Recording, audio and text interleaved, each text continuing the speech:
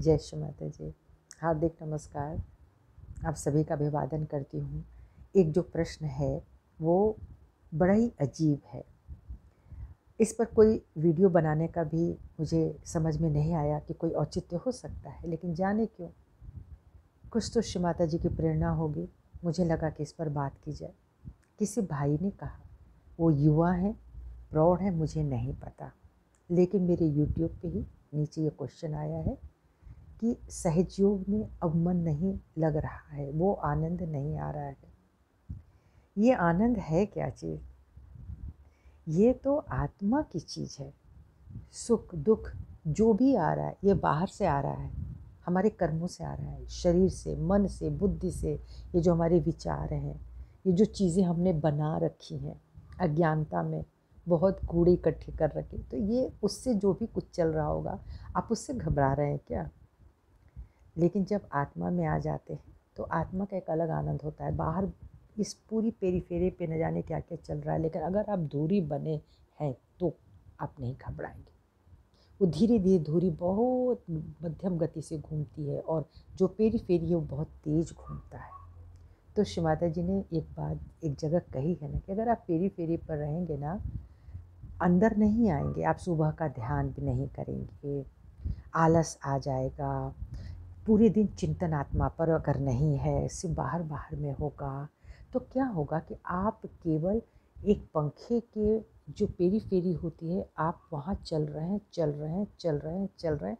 चाहे आप सेंटर आ रहे हैं, आप सुबह का, शाम का जो एक प्रोटोकॉल है, चाहे वो उसको आप कैसे भी मन से उसका पालन कर रहे हैं, लेकिन अगर आप भीतर निर्विचारिता में, स्थिरता में ठहरना नहीं चाहेंगे तो एक टेंजेंट थ्योरी होती है जो वहाँ से उसको बाहर फेंक देती है। जब बाहर फेंक जाते हैं तो हमको फिर मज़ा नहीं मिलता, आनंद नहीं मिलता है। तो जो प्रेम का आनंद है वही आपको नहीं मिल रहा है। तो पहले तो हमको अपनी आत्मा से प्यार नहीं है इसका मतलब। हमने आत्मा को भी पकड़ के नहीं रखा। सहज योग मिल जाना वास्तव में बहुत आसान है। लेकिन उस पर ठहरना, उस पर कार्य करना मुश्किल तो है। तो हर चीज़ हमको बैठे बिठाए नहीं मिल सकती है। पकी पकाई चीज़ मिल रही है, हम खा रहे हैं, हम उसको डाइजेस्ट कर रहे हैं, किस तरीके से खाना है, कब डाइजेस्ट होगा, हर चीज़ का आप नियम पालन करते हैं कि हमको इतने बजे नाश्ता कर लेना चाहिए, हमको इतने बजे खाना खा लेना चाहिए, हमको इतने बजे ऑफ़िस जाना है या फला जगह जाना सब नियम पालन करते हैं, लेकिन हम जब सहयोग में आ जाते हैं तो उसका नियम पालन नहीं करते हैं। कई लोग बोलते हैं, जी, हमको सुबह का ध्यान नहीं होता है, हम हम सुबह सात बजे उठते हैं, फिर हम वो सामूहिक ध्यान करते हैं। तो उससे क्या होगा? हम श्री माता जी का लेक्चर सुन लेते हैं। बहुत अच्छी बात है, आप दस लेक्चर सुन लीजिए। हम उसको कब जज्ब करेंगे, एब्जॉर्ब कब करेंगे? जब हम शांति के साथ सुबह के वातावरण में हम चुपचाप बैठ जाएँ। अगर हम उस समय लेक्चर नहीं भी सुन रहे हैं, अगर, श्री माता का अगर आप एकदम अपने साथ बैठ जाएँ तो भी आप बहुत ऊँची जगह जा सकते हैं। आप निर्विचारिता में अपने आप को देखने लगें तो भी आप ऊँची अवस्था में जा सकते हैं। अपने भीतर के चक्रों पे अगर आपकी निगाह चली गई और शांत बैठे रहे तो भी परम चैतन्य आपके साथ बैठ के आपके कार्य सिद्ध कर देते हैं। तो ये सब बातें कोई गलत तो होंगी नहीं। और जब आपका कार्य कोई सिद्ध होता है अच्छा कई बार क्या होता है, जब हम शुरू शुरू में आते हैं, बड़े चमत्कार बड़े चमत्कार, इसलिए होते हैं कि माँ कुल्हने उठती हैं तो न जाने कितने आयाम आपको दे जाती हैं।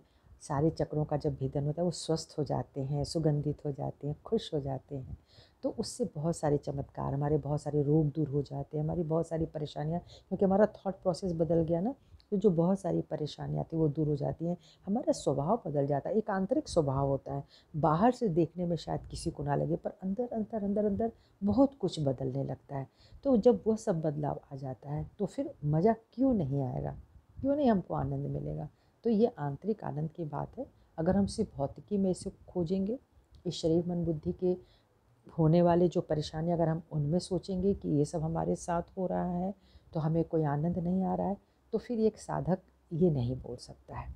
दूसरी सी, मुझे ऐसा लगता है कि जब हम लोग पहली बार तैराकी सीख रहे हैं, मान लीजिए कोई विधा सीख रहे हैं, मैं उसको तैराकी ही ले लूँगी, कि जब कोई तैराकी सीख रहा होता है तो जो उसका कोच होता है, वो उसको अपने दोनों हाथों को नीचे लगा के उसको तैरना सिखाता है, तुम हाथ पाँव मारो, लेकिन इतना उसको विश्वास रहे कि अगर वो डूबेगा तो कोच उसको ऊपर उठा लेगा।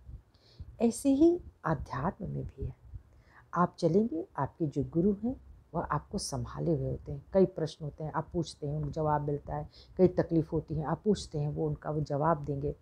तो श्री माता ने हर बात का जवाब दिया हुआ है। उन्होंने बहुत उठा के रखा, बहुत सजाया, सवारा होगा, तब तो अच्छा लगा होगा। लेकिन जब कोई तैराक बन जाता है तो हाथ धीरे से खींच लिया जाता है। अब आप तैरो। आपका कॉन्फिडेंस आपकी मेहनत अब काम आएगी। तो अगर वो मेहनत ही नहीं हुई तो हम पुनः डूबेंगे। अब तो हाथ हट गया है ना, क्योंकि परीक्षा देने का समय आ गया। पूरे साल पढ़ाई की क्या पढ़ाई की वो परीक्षा में पूछा जाएगा। जब जीवन में परीक्षाएँ हो रही हैं, पढ़ाई में परीक्षा हो रही है एक एक क्लास की परीक्षा हो रही है, तब हम दूसरे क्लास में जाते हैं तो क्या आध्यात्म में कोई परीक्षा नहीं होगी? आध्यात्मिक परीक्षाएँ भी होती हैं। एक क्लास के बाद दूसरे क्लास में आप कहाँ तक बढ़े? क्या उन्नति हुई आपकी? क्या प्रगति हुई आपकी? आपको क्या लगता है? आप क्या थे? अब क्या हो गए? कुछ अंतर लगता है? क्योंकि आप आत्मा हैं, आपको सब पता है कि हमारे शरीर में क्या अंतर आया, हमारे मन विचार में क्या अंतर आया, हमारी बुद्धि पहले कहाँ कहाँ भाग रही थी, अब कितनी स्थिर हुई है। ये सारी चीज़ें हमें पता चलनी चाहिए क्योंकि मैं आत्मा हूँ और मैं इस शरीर के भीतर हूँ। तो शरीर मेरा गुलाम है। आत्मा शरीर की गुलाम नहीं है। तो जब तक आध्यात्मिक चिंतन नहीं होगा और सुबह का ध्यान नहीं होगा, आप अपने चैतन्य दूसरों को देंगे नहीं, प्रेम नहीं होगा, केवल हम दूस, मेरी नज़र दूसरों पर ही है कि वो ऐसे हैं, वो वैसे हैं, उनको ऐसे करना चाहिए, उनको वैसे करना चाहिए, परमात्मा हमारी नहीं सुनेगा, वो बोलेगा, तुम देखो तुम्हें क्या करना चाहिए।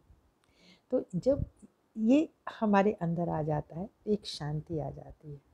तूफ़ान बाहर गुजर रहे होते हैं, आप बहुत शांत हो जाते हैं। तो आप अपने पर ध्यान दीजिए कि आपका चित्त कहाँ कहाँ दौड़ रहा है और क्या खोज क्या रहा है। बाहरी भौतिक चीज़ें, हम मर जाएँगे, ये चीज़ें रह जाएँगी। साथ में क्या लेके हम जाने वाले हैं, इस पर ध्यान ज़रूर रखिएगा।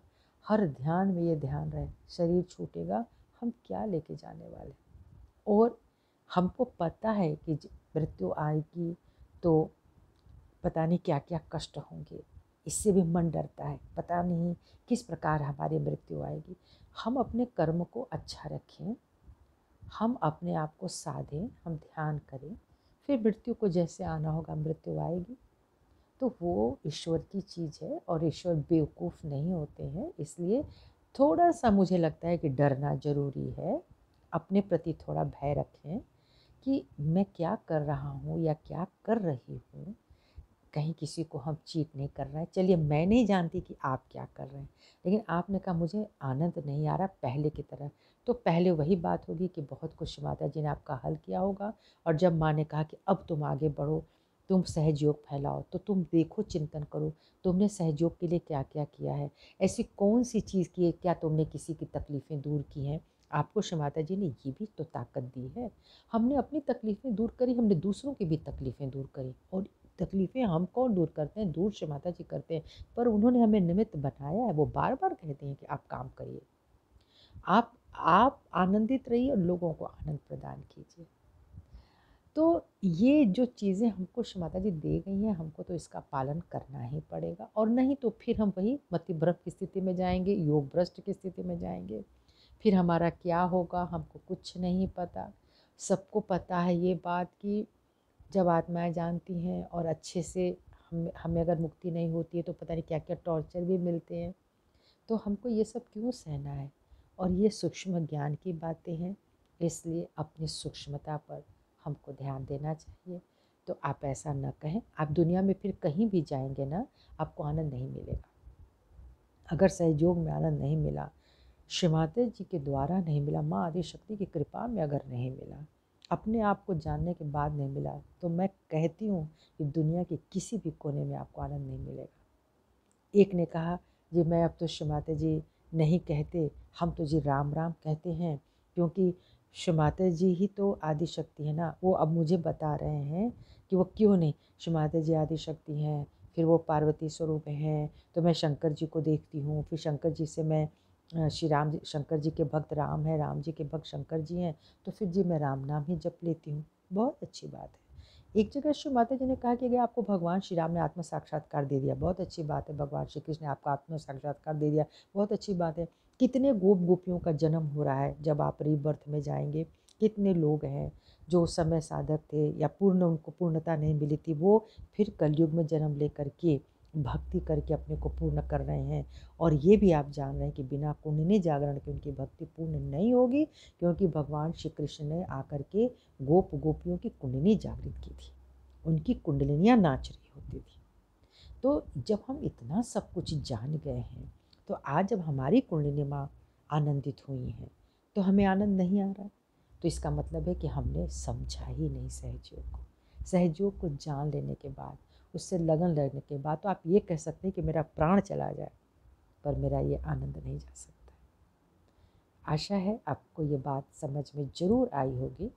जय श्री माता